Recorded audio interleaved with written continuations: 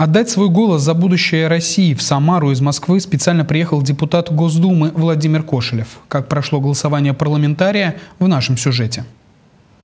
Определить будущее своей страны и задать вектор ее развития. То, что ближайшие три дня объединяет всех россиян. Исполнить свой гражданский долг на малую родину приехал депутат Государственной Думы Российской Федерации Владимир Кошелев. Голосование прошло на избирательном участке номер 2903, расположенном в одном из корпусов Самарского государственного технического университета. Голосовать люди начинают с 18 лет. То есть дети не голосуют.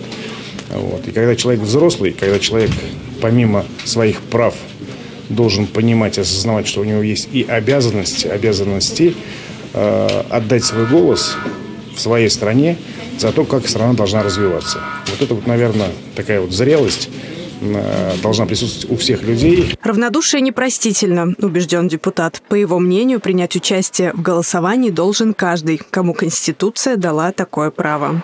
Галина Топилина, Петр Поломеев. События.